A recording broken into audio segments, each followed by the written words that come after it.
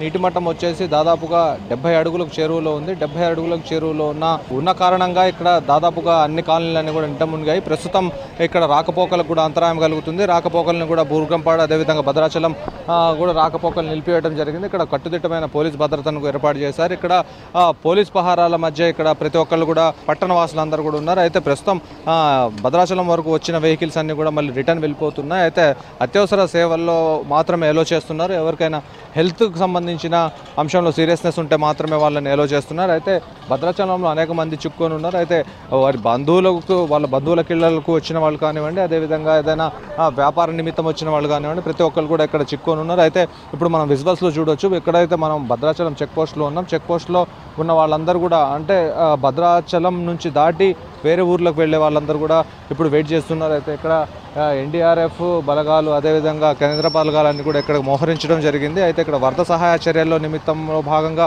వీళ్ళందరినీ ఇక్కడ తీసుకొచ్చారు. అయితే ప్రస్తుతం అనేక మంది విద్యార్థులు వేరే వేరే ప్రాంతాల నుంచి పరీక్షలు రాయడానికి వచ్చారు. వారు కనీసం ఇప్పుడు బయటికి వెళ్ళలేని పరిస్థితి కనిపిస్తూ ఉంది. అయితే వారితో మాట్లాడే ప్రయత్నం చేద్దాం. ఎక్కడ బ్రదర్ మీరు? ఎక్కడి నుంచి వచ్చారు? ఎక్కడికి వెళ్తున్నారు? యాక్చువల్గా పాలరాజు కళలో ఎగ్జామ్ రాయడానికి వచ్చామండి. బీటెక్. త్రీ వన్ సప్లిమెంట్ రాయడానికి వచ్చాము. సో ఇప్పుడు వచ్చేసి ఇక్కడ బంద్ చేశారు. ఎంతమంది ఎగ్జామ్స్ రాయడానికి వచ్చారు? ఎంతమంది ఉన్నారు ఇక్కడ? మొత్తం అందరూ ఎగ్జామ్స్ రాయడానికి వచ్చామండి. రాజమండ్రి డిఫరెంట్ డిఫరెంట్ ఏరియాస్ నుంచి రావడం అయితే జరిగింది. సో ఎగ్జామ్ కంప్లీట్ అయిపోయింది సప్లిమెంటరీ సో రిటర్న్ వెళ్ళడానికి ట్రై చేస్తున్నాం. కొన్ని సిచ్యువేషన్స్ వాళ్ళు కూడా స్టాప్ చేస్తున్నారు. మేము రిక్వెస్ట్ చేస్తున్నాం.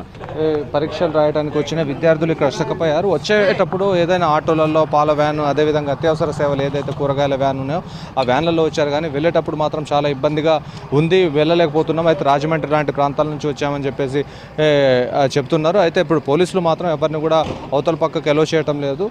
ఆ, ఉదయం నుంచి అనేక మంది భద్రాచలం వరకు వస్తున్నారు. రిటర్న్ వెళ్ళిపోతున్నారు. ప్రస్తుతం వారి పరిస్థితి చాలా ఆగమ్యగోచరంగా మారింది. వాళ్ళు అందరూ కూడా ఆవేదన ఆందోళన వ్యక్తం చేస్తున్న పరిస్థితి కనిపిస్తూ ఉంది. అనేక చిన్నపిల్లలతో అనేక మంది చిన్నపిల్లలతో వాహనాలతో అదే వాహనాల మీద వచ్చే అదే టూ వీలర్లు వారి వారి వారి వాహనాల్లోనే వెయిట్ చేస్తున్న పరిస్థితి ఉంది. అయితే ఇక్కడ కనీసం ఇక్కడ హోటల్ సౌకర్యం కూడా లేకపోవడంతో తీవ్ర ఆందోళన వ్యక్తం చేస్తున్నారు కనీసం ఇక్కడ తినడానికి కూడా ఏమీ దొరికే పరిస్థితి కనిపించడం లేదు. అయితే గంట గంటకు గోదావరి ఉధృతి పెరుగుతూ ఉంది. పెరుగుతుండటంతో ఇక్కడ చాలామంది అనేక రకాల ఇబ్బందులను ఎదుర్కొంటున్నారు. అయితే ఇక్కడ స్థానికంగా ఉన్న అనేక కాలనీల్లో నీళ్ళు కూడా రావడం జరిగింది. ప్రాంతం అంతా కూడా కొంత వన్ ఫార్టీ ఫోర్ సెక్షన్ విధించడంతో ఎక్కడ ఎక్కువగా జన సమీకరణ జరగొద్దని చెప్పేసి పోలీసులు సూచిస్తున్నారు.